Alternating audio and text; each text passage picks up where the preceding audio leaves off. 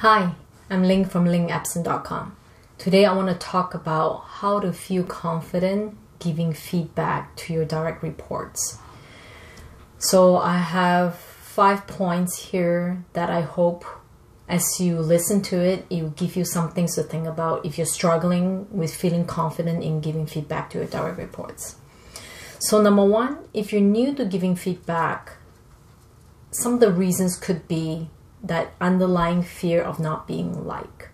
You might be someone who has fear of conflict, and when you are trying to give someone, say, especially obviously a negative feedback, your mindset could kind of go, "Wow, I it's I'm sitting in a room, I'm dealing with this conflict. It can be really scary."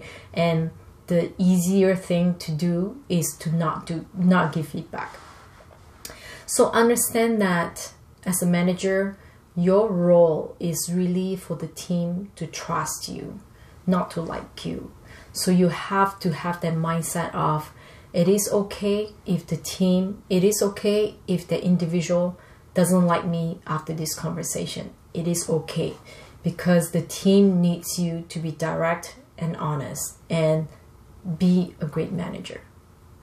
Number two, it may it may sound cliche, but feedback truly is a gift. And you might be the first manager who is truly listening and observing and really being direct to give this person feedback the first time ever in their career. And this really is a gift for them because throughout their career, they could, they could have been doing this thing wrong or could have been bulldozing through their career and putting people down, even with their best intentions and nobody has bothered or cared enough to give them that feedback. You might be the first person, and they may not want to hear it at the beginning, but once they work through it, they will be grateful for you. Number three, focus on the end goal. So if this person becomes better after your feedback, the team ultimately will benefit from it.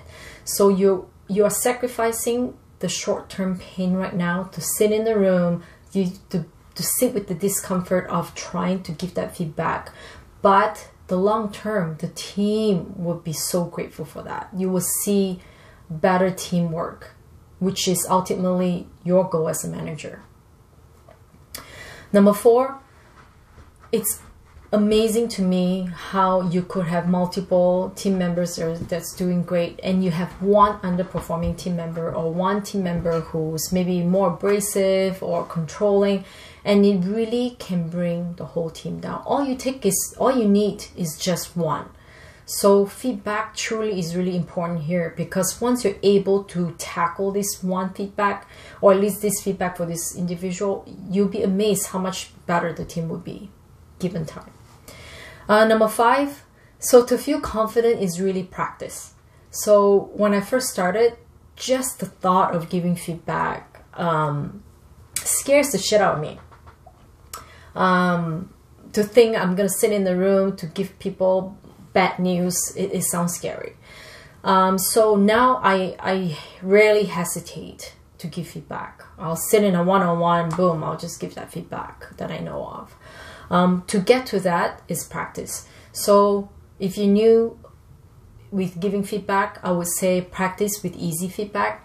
Practice with feedback that's a little bit more tangible. There's a lot of examples you can lean on and then give that feedback and practice and practice. And another one that I find helpful if if you have somebody that's a little bit difficult because that person might be someone that you've experienced can be hard to give feedback. Rehearse with someone, with your manager, with a peer.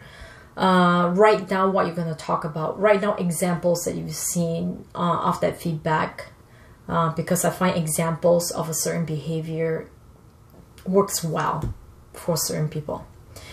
Um, role play. So some things I do with clients are role playing. So we'll role play. Hey, um, somebody you need to give feedback to this person because this person is not doing well and i'll pretend to be an employee and then you're to role play that back to me and then i'll give you that feedback in terms of how how that conversation went so role playing may sound simple but i'll have to say going through it um, it's really powerful so give that a shot so i hope this is helpful uh, reply comment reach out if you have any questions share this with someone who needs to hear this today.